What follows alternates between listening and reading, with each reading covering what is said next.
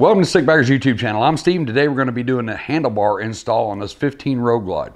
Now what we have going on the Road Glide here are the Road 6 Customs naked bars. This is the black version and as you can see right here there's some holes in the end here and here and Road 6 offers a couple of different caps. You can get those caps raw you can get them black. We got the black ones to go in here. Those bars look pretty cool on a Road Glide guys. I've seen those bars on a couple of different Road Glides before in the past absolutely love the way that they feel. Uh, we actually got to ride a Road Glide one day that had them on there and I fell in love with the bars and to be honest with you guys, they are awesomely priced. With the Road Glide, significantly easier than doing a Street Glide. A Street Glide's really not too bad. There's just a few more extra steps. You got to move the fairing and all that good stuff. And with the Road Glide, you don't have to do all that stuff. You got a fixed fairing. Everything is easily accessible right here in the top. All you have to do is just remove the uh, gauge cluster assembly right here, which is couple of screws and uh, you're right down to where you need to be on the handlebars. So let's get the camera over here and start this install. Now I've seen a couple of different guys do this a couple of different ways and uh, with the Road Glide to take this gauge cluster off I've seen them take this ignition out. Absolutely no reason to take that out.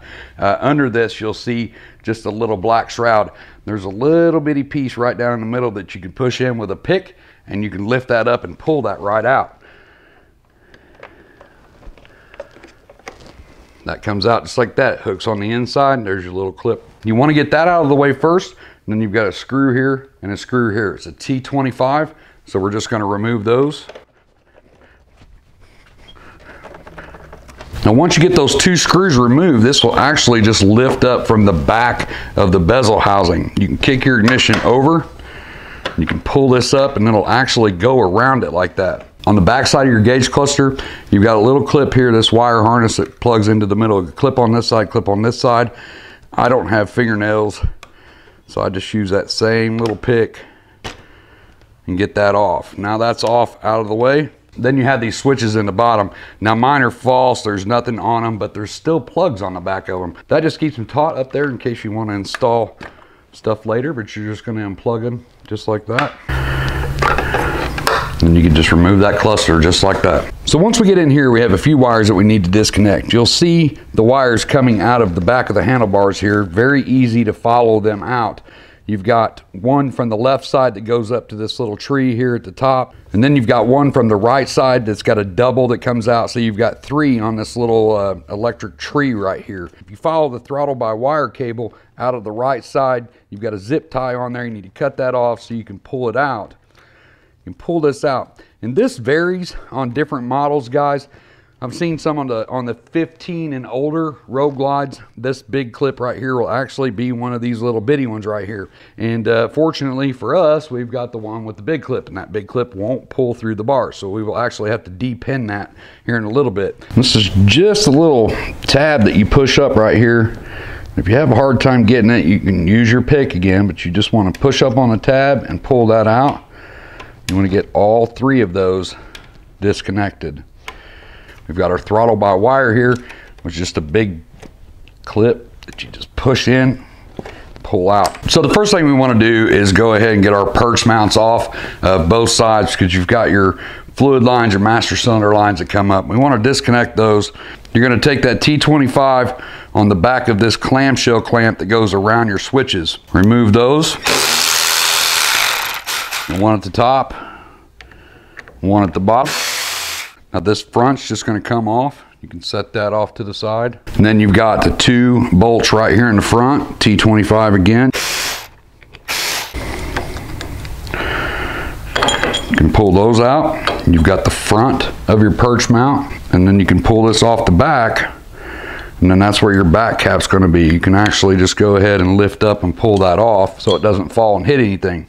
Now from here, I'll take just a bag or a towel or something and put over this because we have to let this swing actually until we get ready to put it back on. We don't want it scratching any paint or anything. We're gonna do the exact same thing on this side.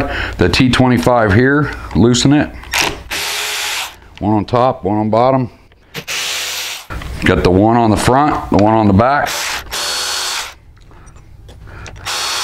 Take the front of your perch off. And with this one, like I said before, if you don't have a crown royal bag or something like that, put a towel around it, put a piece of painter's tape around it like that. Now from here, you have to take this little cover off your trip switch. And underneath there, there's just a little clip. You need to get under that flathead screwdriver or pick or something. You push up, pull out and slide that off. You can go ahead and take the front off, slide the back off. So the left hand grip, you have different styles. You have some that just slip on and tuck in behind like these do. I would say most guys usually when they're in this step would go ahead and replace their grips with something better. You can put channel locks on these, whatever you need to, to twist this and get that glue broke loose and get this pulled off. These were actually glued on really good and I had to use channel locks to twist and twist and twist. Uh, we'll put these back on just to show you how to put the stock ones back on. However, in a future video, we will be replacing these. So once you get the glue broke loose, and this was way too much glue, thank you Harley Davidson for that go ahead and get that grip off. Now from here you just have the four bolts that hold the handlebars on. It's a quarter inch hex head. Go ahead and pull those out. Shove that out. Take the top plate off. Pull your handlebar straight up. Hey guys, I hope you're enjoying this free video. If you like this video, hit the like button. And if you want to check out the channel, we got 120 something bagger related videos. There's a ton. Check out the channel and make sure you hit that subscribe button, guys. That's what keeps us coming out here into the shop and doing these videos for you. All of our videos are always free all the time. We don't ask for donations. We don't do Patreon. We don't do any secret squirrel Facebook things where you have to pay us money to join and all. Everything is free all the time on this channel. So make sure you check us out. Find us over on Instagram, find us over on Facebook. If you want to get a hold of some bagger swag, that's where you can find it over on Facebook. We do a pre-order about five, to six times a year. Put your order in, you get t-shirts, hoodies, koozies, all that good stuff. But find us over there. But I'm gonna let you guys get back to the video. I just wanted to stop a second and let you guys know that I appreciate the hell out of every one of you guys. Back to it. Now, whatever bars you're getting ready to replace on there, you need to look on bottom of them and see if there's a small hole drilled to the side of where your wires came through. If there's not a small hole there, you need to knock this pin. You see this little pin right down in here? This uh, pin on the stock bars goes into a small hole on the bars and it uh, puts them exactly where they need to be. So you can't, you have no control over the up or down. Most aftermarket bars do not have that hole. So you just want to drive that pin down or you can try to pull it out. We normally just get something and we drive it down. You want to drive it down flush like that. Then when you set your new bars in here, you have access to moving the bars up and down. Now, if you look on the back of our switches right here, we've got a little piece that comes up. It's a tab that comes up and locks under the front.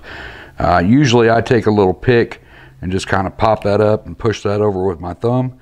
Just be very careful on this part here. You have a ribbon down here at the bottom. You do not want to tear that ribbon up. Once you loosen that, you can pull it forward and off the handlebars. And of course, you just want to repeat it on the other side. Pop it up just like that. So basically, you're just popping this little piece up right here. You're going to push it forward, making sure that you don't damage that ribbon. You're going to get that off right there. So on the left side here, you can kind of start to push this in. You can see that wire start to move down there. You want to get it set in there, pull the wire, do not pull on the switch. You can go ahead and start pulling this out. Just like that. And get that one out of the way. Now on this side, remember we had the big throttle by wire that we have to depin. So in order to depin this connector, you're gonna need a couple of picks and uh, like a paper clip or a safety pin or a actual D-pin tool, which we don't have. But right here on the back side, I've, I've stripped back some of this Tesa tape so we can see the color of the wires. And from here, it's a good idea to go ahead and take a picture of both sides of this so you can see where the wires go back in because you have three on top and you have three on bottom. On the back side of this connector here, you see these two little slots here. You can get under this white cap and push up gives you just enough room to push that up. You'll kind of hear it click and you'll know that that's all the way up. That releases that. Now, from here, you want to take a paper clip or a safety pin and right down at the bottom of these clips, there's a little slot. You want to get this into that slot, push down until you hear a click. Once you hear a click, you can pull the wire out on the back side. And I reassure you that there's absolutely nothing fun about this process. Just want to get under it until you hear a click and then you can see that wire pull out like that. You can pull that right out just like that. So I'm going to cut the camera and go ahead and get the rest of these removed. So once you get that D pin guys, you can go ahead and fold this up together like that and go ahead and pull your wires out. Now with this side being a little bit different because you've got your wires for your switches and you got your wires for your throttle by wire. This is the big one that we just depinned. So you can actually start pulling that out and feeding that through. You don't want to pull real hard on it. You don't want to mess up any of the wires on the end of it.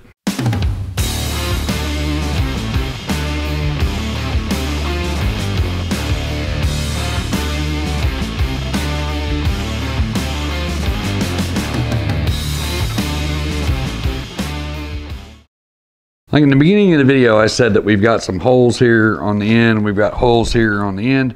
So there's a couple of ways to pull wires on these bars. Uh, most bars don't have these holes with the cap, so you would literally have to pull the wires through all of your bends. And I've seen a million different ways of doing this. Taking this kind of uh, ceiling fan switch chain stuff, which we've used this one several times. I've seen this black sheathing uh, used before. You can expand this stuff pretty big. And uh, basically, once you get these in here and you pull on it, it kind of works like a uh, Chinese finger trap. So you pull it, and as you're pulling it, it just holds it really tight. These bars, we can pretty much put this stuff through and come out the hole, tuck it back in, run it down, pull it out, tuck it back in, run it through the middle. So we don't need a whole lot of string and stuff to do this with, so let's just go ahead and pull the wires on these. Now remember, these are the Road 6 Customs, uh, so they're a little bit different uh, than the other bars, but actually a little bit easier to uh, pull. Now with the wires that we depin, to keep this from kind of bending over and getting clumped up in there, I'll go ahead and tape those up. You've got another plug that comes off that side uh, for your heated grips. So we're not putting those on. We'll tape it to it to keep it from bending over as well. So we'll start by putting our throttle by wire in. It's usually stiff enough. Take the paper off of it so paper doesn't get caught up on anything. We'll go ahead and pull that through. Put our switch wires through.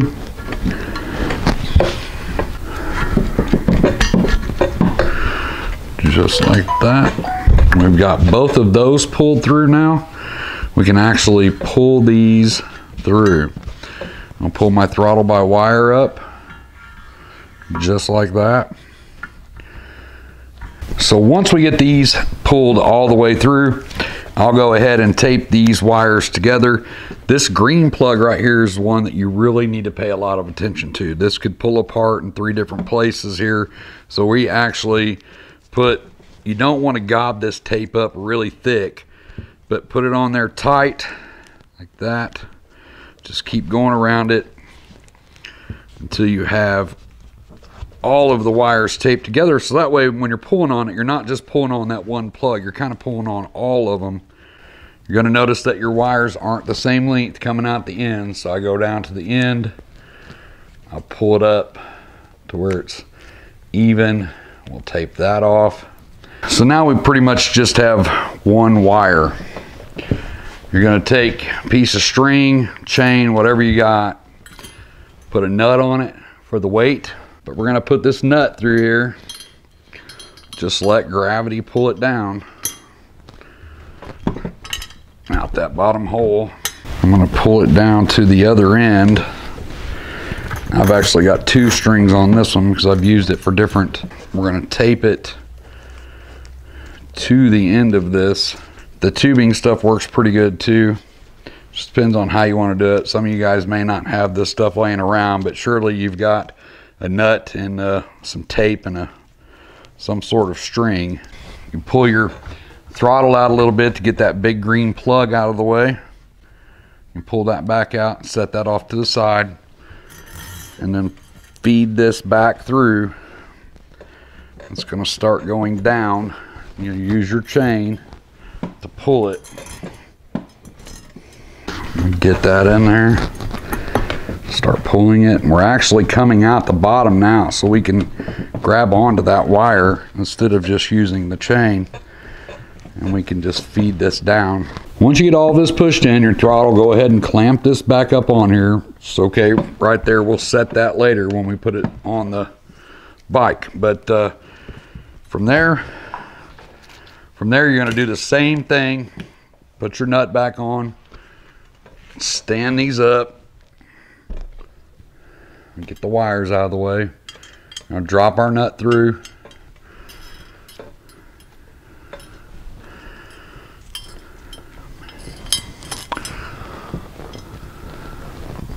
And that drops through, we'll get a pick and pick it out of the middle there. Just like that. Pull it all the way through. And we're gonna start pulling this back through. Let's kind of feed it in. Pull it up, just like that. Now because we already have it there, we can go ahead and get to that tape right there. We can take it off so it's not so thick. Just like that. Do the other side. Now we can take all this electric tape off, our string and stuff, and go ahead and do the other side. So from here we can go ahead and put our Molex connector back on, guys. It just goes back together the same way that we pulled it apart when we depinned it. Leave this cap up.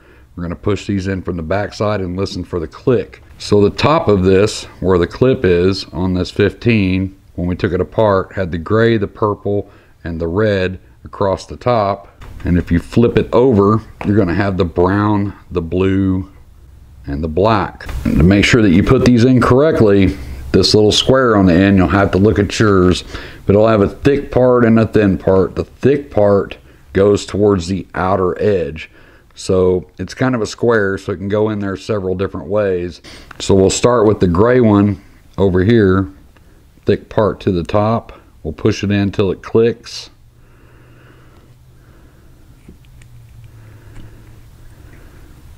Like that. And then you've got the purple. Make sure that that thick part is facing the top outer edge.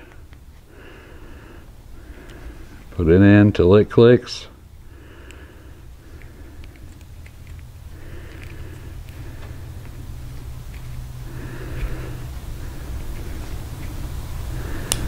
And then we have the red one. We have to twist it to make sure that the thick part's to the top once again. Put it in till it clicks.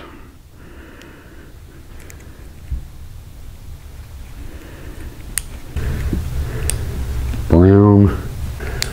If you got big fingers like me, you can use a pair of needle nose to finish pushing it in.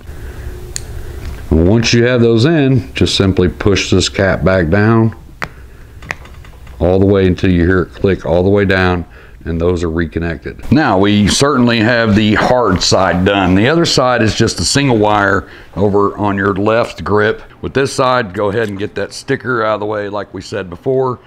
Now on this side, I won't necessarily take it out here and back in and down because we just have the one wire. So I went ahead and fed it through and down the tube and I will come out here. It just makes it a little easier to get over here.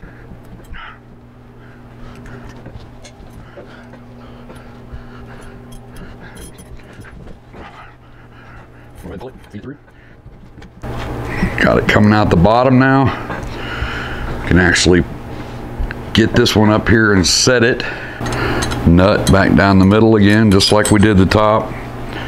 Get your little hook and fish it out.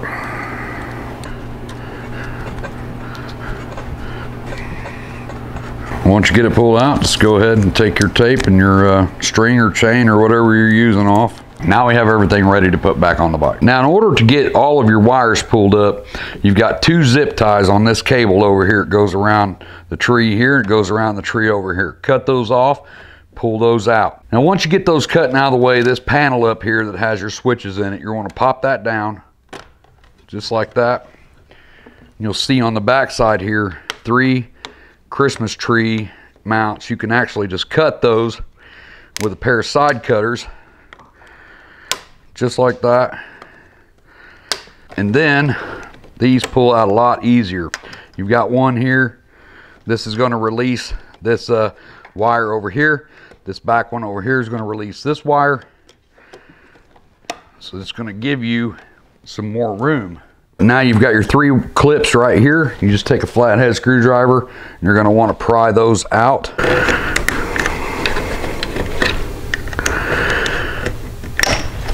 And once you have those out, you can take that flat piece out. Now what that's gonna do is give you more room with all of these wires. So when you set your bars back in here and you pull your perches back up, you've got a lot more length on this.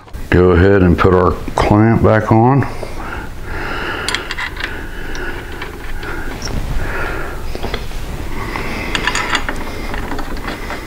So just remember, before you do your final torque on here and put your gauges and stuff back in, you're gonna wanna set on the bike and turn the handlebars. Make sure your perches aren't hitting your windshields or anything like that. You can jam these bars pretty far up forward, but that doesn't allow for movement. So before you get all this buttoned up, make sure to turn your handlebars fully to the left and fully to the right and make sure that you have clearance.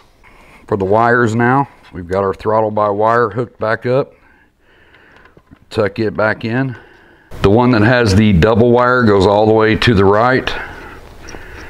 Here. Plug it in, listen for the click. Your little single there, your smaller one, and then you've got your last one.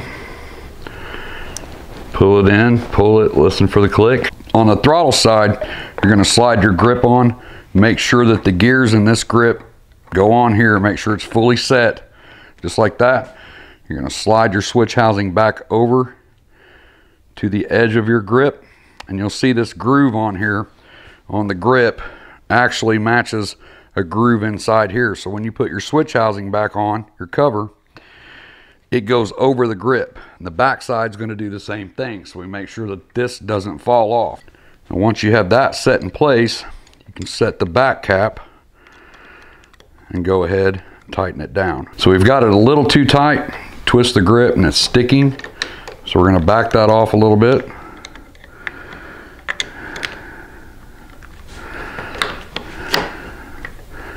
We're gonna pull this a little bit more towards the grip. You know, a little play in there, not a lot. There's a fine line between having too much play and not enough. So if you pull it and it sticks, you need to back it off a little bit but you don't want to back it off too much because then these gears out here barely be touching and you'll end up stripping it out.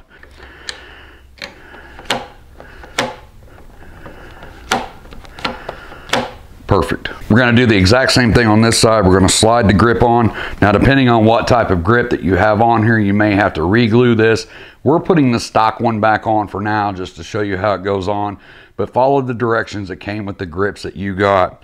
Uh, I know some of the Arlen Ness ones, like we have on the Street Glide, doesn't have this lip right here that the ring goes around. So you basically just put this back together, pull it over to the edge of the grip, and then glue the grip on. Now the stock one was actually glued on and had the, the clamp around it right here around this ring. So just follow the directions that you have with your grip. We chewed these up pretty bad trying to get the glue off, as you can see. But I'm just going to install these back so you can see how it's done. You're going to slide this back over to it's at the edge of the grip. We're going to put our front on.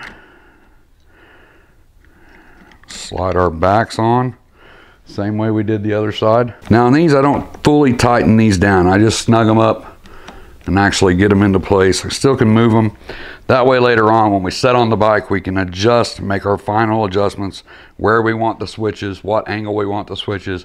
If we change the angle of the bars, it's gonna change the angle of the switches. Now with the perch clamp on the Road Glide, it's a little bit different. A lot of these, they have a pin inside here and there will be a hole in the bars and your stock bars for that pin to slide into.